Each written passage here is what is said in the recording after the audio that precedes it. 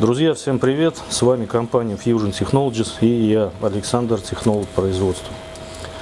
У большинства коллег, кто занимается печатью, реставрацией окраской салонного пластика автомобилей, рано или поздно возникает такой вопрос, как работать с такими деталями, которые с завода покрыты натуральным шпоном и как поступить, поступить в таком случае с такими деталями? Способов существует несколько. В сегодняшнем видео мы покажем вам, как работать с такими деталями. В первую очередь надо оценить состояние деталей. То есть если дефектов по лаку очень много, в основном все дефекты проявляются именно на нем – сам шпон практически не трескается. Если дефекты небольшие, не глубокие, одиночные, можно поступить следующим образом. Взять бормашинку электрическую.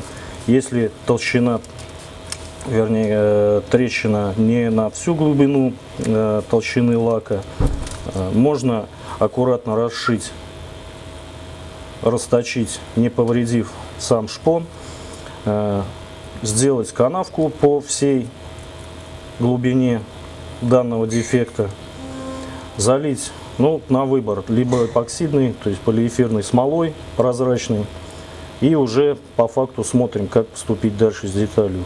После высыхания смолы обычно все неровности можно сошлифовать, и здесь надо смотреть на преломление, то есть если самой трещины э, на блик не видно, э, можно будет просто либо перелачить деталь. Э, если клиент хочет э, поменять текстуру в салоне, то есть можно также предварительно подготовив поверхность, то есть э, также по технологии окрашиваем и наносим другую текстуру, покрываем лаком. Если дефектов очень много, чтобы дать на деталь гарантию, здесь в любом случае старое покрытие придется удалить. Опять-таки у нас ну, пару способов существует, как это сделать. Э, из положения можно выйти двумя, опять-таки, способами. Взять строительный фен промышленный и аккуратно нагревая, то есть сам, э, само это покрытие, оно от нагрева неплохо достаточно, то есть отслаивается, отходит. Но Э, надо смотреть опять-таки на исходный материал самого изделия. В нашем случае это пластик. Здесь надо быть очень аккуратным, чтобы не повредить форму детали. И как мы можем видеть, дефектов очень много. То есть третий способ удалить вот это покрытие, это то есть обычное вышкуривание. То есть сошлифовываем всю толщину вот этого покрытия.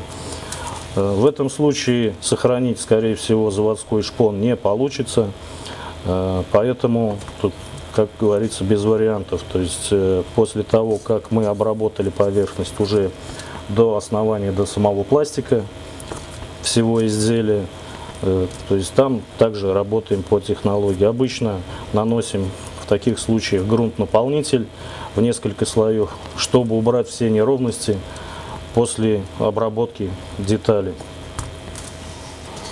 Если было принято решение удалить данное покрытие механическим способом, то есть э, для начала лучше взять абразив погрубее, то есть 180 абразивный круг, орбитальная машинка и начинаем постепенно плавно э, сошлифовывать данное покрытие, э, постараясь стараюсь не делать сильных углублений, то есть плавными движениями.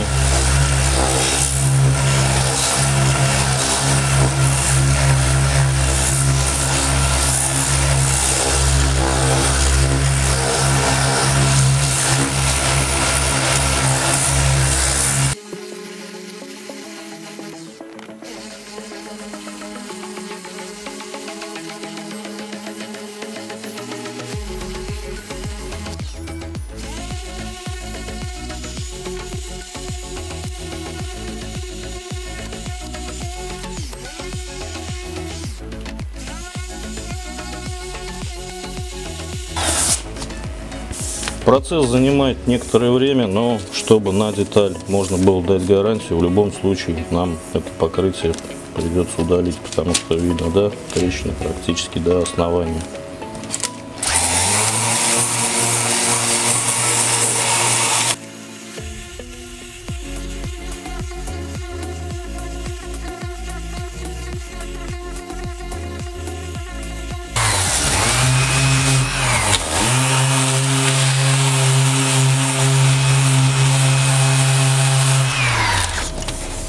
И вот таким способом, то есть старое растрескавшееся покрытие мы сошлифовываем. Сам шпон зачастую в хорошем состоянии. Посмотрим по факту, то есть есть ли смысл удалять его, если он без дефектов,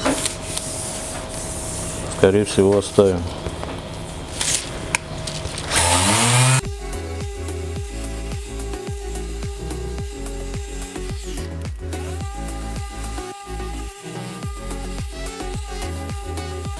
Вот все наши дефекты и трещина мы сошлифовали. Шпон у нас в достаточно неплохом состоянии. Полностью удалять мы его не будем. И э, поскольку в процессе шлифовки мы немного потеряли толщину нашей детали, мы с помощью грунта наполнителя ну, будем наносить либо в два, либо в три слоя. То есть помимо того, что мы наберем изначальную толщину нашей детали, то есть в процессе обработки грунта наполнителя мы еще выровняем все э, дефекты, которые, возможно, были допущены при сошлифовании старого покрытия. Разводим грунт наполнитель.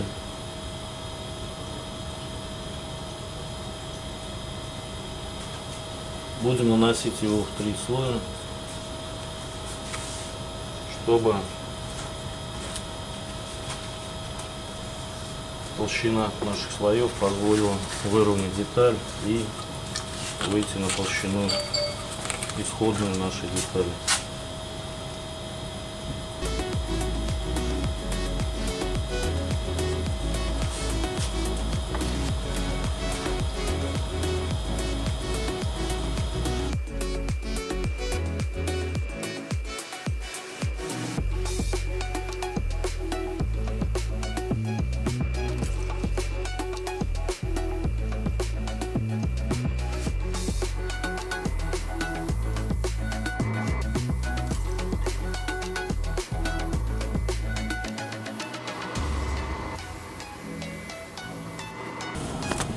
Нанесли второй слой, ждем еще здесь 15 минут. Нанесем третий и в принципе этого будет достаточно.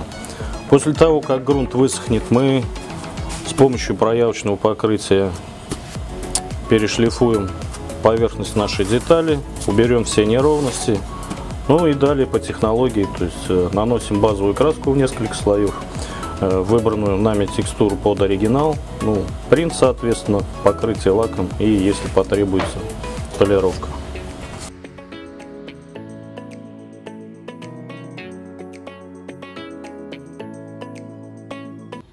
Вот грунт наш высох. Чтобы при шлифовании не пропустить какие-то неровности, возможно дефекты, наносим сухое проявочное покрытие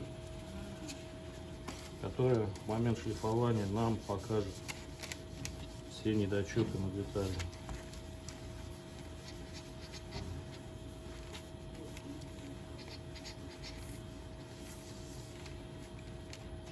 Немного выровняем поверхность ласточки.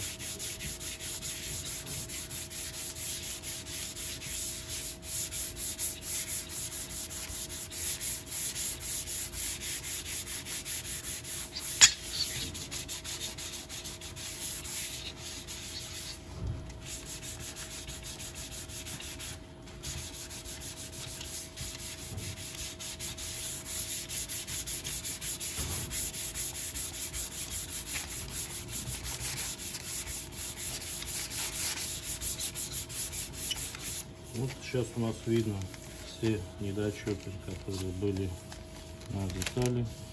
Но толщина грунта позволит нам все это зашлифовать.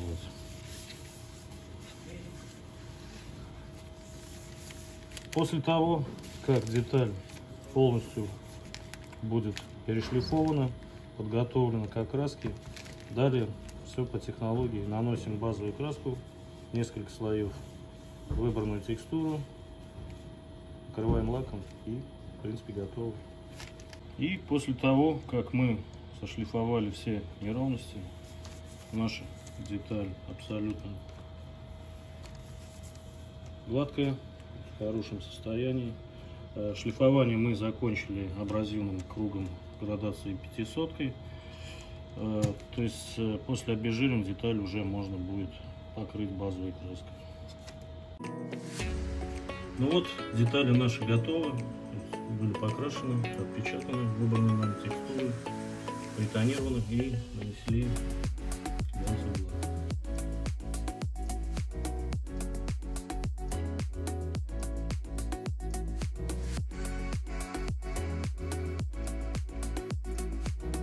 А сейчас мы вам покажем второй способ удалить старое поврежденное покрытие на деревянной детали. Э, с помощью строительного фена э, нагреваем поверхность детали, чтобы ускорить процесс отслоения.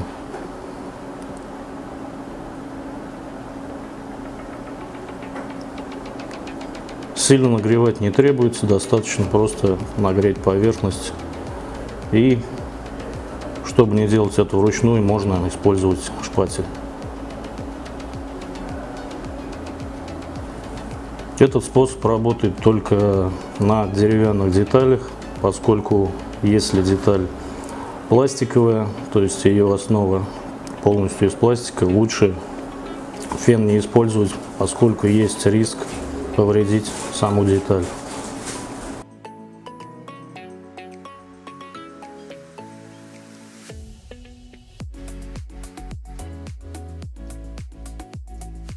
То есть нам надо будет удалить вот это поврежденное покрытие. У нас не стоит задача сохранить текстуру вот эту натурального дерева, поскольку заказчик выбрал другую. То есть поврежденный лак мы либо сошлифовываем, но на этой детали, она не пластиковая, гораздо быстрее это сделать с помощью фена, то есть нагреванием. Э, сильно нагревать не надо, главное, чтобы он стал пластичным. То есть мы это все удалим. Потом поверхность у нас будет э, сошлифована, то есть э, подготовлена под грунт. Здесь небольшая разница при работе с пластиком. Мы в качестве изолятора будем использовать первичный грунт для МДФ. Нанесем его в один-два слоя, то есть полностью у нас э, задача будет нанести обязательно на торцы, на тыльную часть, поскольку при промывке надо исключить попадание воды. И после того, как он высохнет, уже будем наносить грунт-наполнитель, опять-таки в несколько слоев, чтобы уже шлифованием выровнять нашу деталь.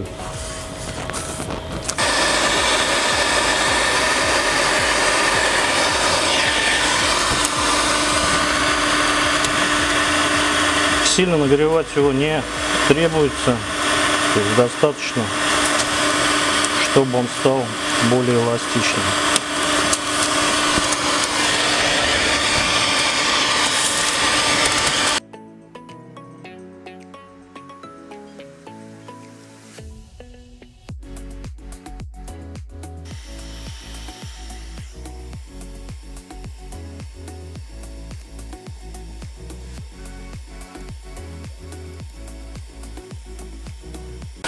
Итак, наш поврежденный лак мы удалили. Деталь у нас полностью осталась натуральное дерево. Э, предварительно подготавливаем поверхность э, либо шлифовальный блок градации 150 в принципе достаточно будет. Торцы очень удобно им обрабатывать. Если деталей несколько, много, э, лучше орбитальную машинку взять и опять-таки абразивные круги. В принципе, 320 э, градации будет достаточно. После того, как мы подготовим всю поверхность, торцы обязательно, и То есть уберем все бумажные элементы, чтобы нанести наш первичный грунтоизолятор. Опять-таки, чтобы исключить попадание воды, чтобы со временем не появилось никаких дефектов.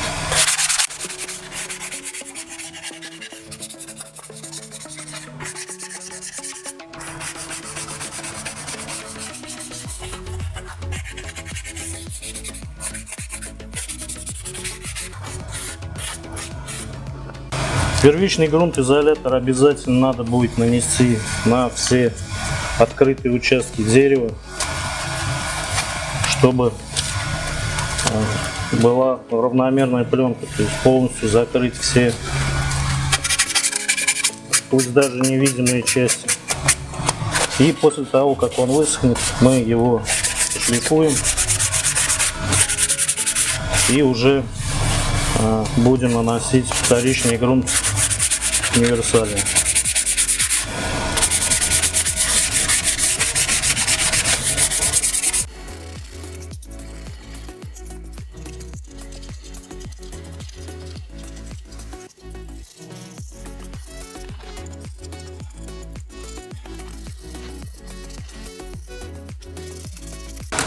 Будем работать, как уже сказал, первичным грунтом изолятором.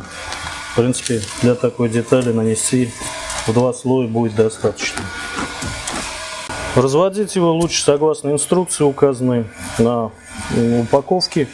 Э, на сайте в каталоге э, в описании к этому продукту есть э, дополнительная видеоинструкция. Если возникнут какие-то вопросы, можно будет посмотреть ее, как работать с этим грунтом. После того, как мы нанесем его на нашу деталь, дадим ему высохнуть, как уже сказал, э, его надо будет сошлифовать, верхний слой, потому что, возможно, э, где-то немного поднимется ворс нашего натурального дерева, и там надо будет его удалить. И уже после этого нанесем э, универсальный грунт-наполнитель в 2-3 слоя, посмотрим по состоянию поверхности. Ну, подойдет даже акриловый. Вот наша деталь подготовлена, обезжирена под наш первичный грунт. Э, в качестве изолятора нанесем грунт по дереву по МДФ, э, стараясь тщательно закрыть все торцы. Обязательно нанесем его на тыльную часть, чтобы э, исключить попадание в пору дерева воды, чтобы со временем не получилось никакого дефекта. Грунт по МДФ лучше готовить на электронных весах, Берем мерный стаканчик. Э, на банке есть информация, как его смешивать. То есть на 100 грамм нашего грунта э, потребуется добавить 30 грамм отвердителя и 50 грамм разбавителя из его же комплекта. Э, нам такое количество не потребуется на нашу деталь. Мы будем наносить его в один слой.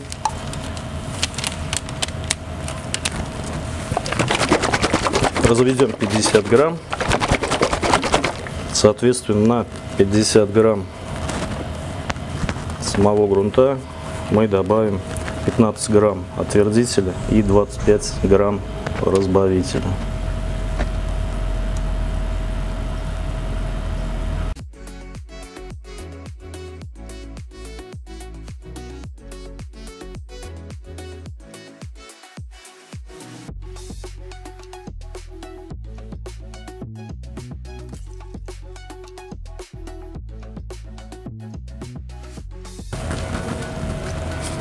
Тщательно перемешиваем грунт. Смесь наша готова. А, при комнатной температуре он достаточно быстро высыхает, то есть 30-40 минут. И уже можно будет его перешлифовать. То есть помимо того, что он выполняет роль изолятора, он э, зачастую поднимает ворс натурального дерева. И э, при обработке это будет хорошо видно. То есть мы это все удалим шлифованием. Э, для этого будем пользоваться абразивом либо 320, либо 400 э, градации. И уже потом будем наносить э, грунт-наполнитель в несколько слоев чтобы убрать все неровности, которые могли возникнуть то есть в процессе эксплуатации и после того, как мы удалили старые покрытия. Э, будем использовать либо акриловый грунт-наполнитель, либо э, эпоксидный. Эпоксидный э, грунт, он менее пористый, будем, скорее всего, наносить его. Ну, далее, после высыхания уже вторичного грунта, будем также перешлифовывать всю поверхность детали, выровняем ее и уже будем готовить под окраску.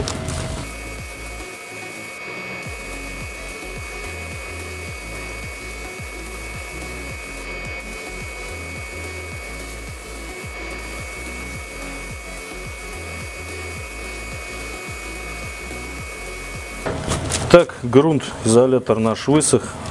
Сейчас наша задача все, э, всю поверхность деталей, торцы э, обработать абразивом э, под вторичный грунт. Для удобства используем такой шлифовальный блок градации 220. В принципе, под вторичный грунт этого будет достаточно.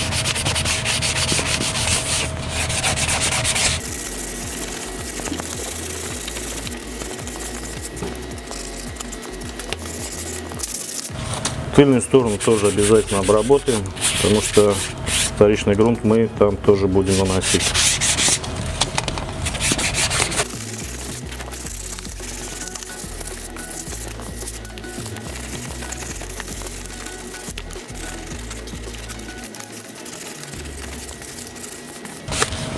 Ну вот, в принципе, деталь практически готова. Осталось ее обдуть и обезжирить, развести э, вторичный грунт-наполнитель и нанесем э, в несколько слоев, 2-3 слоя.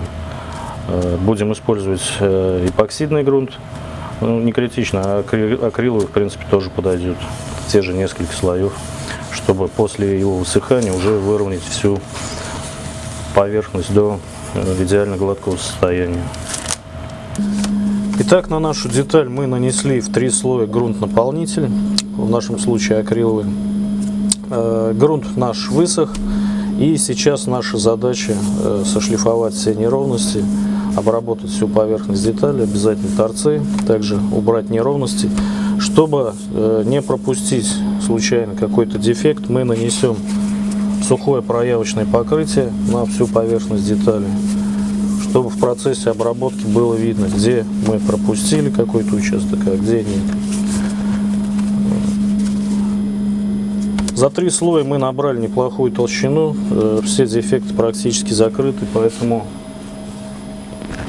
э, можно взять либо 320 абразивный круг, либо 400 в нашем случае. То есть мы возьмем 400 и начнем зашлифовывать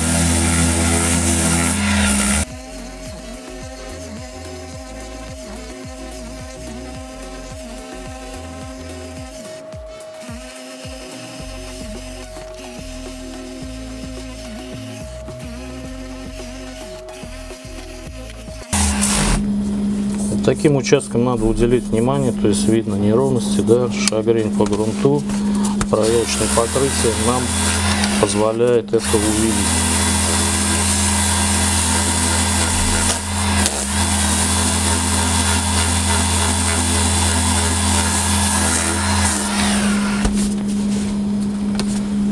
После того, как мы 400 абразивом обработаем всю лицевую поверхность, мы еще раз нанесем сухое проявочное покрытие, возьмем уже абразивный круг э, градации 500 и в принципе на этой риске можно будет остановиться, то есть чтобы то есть деталь у нас э, будет полностью готова под окраску.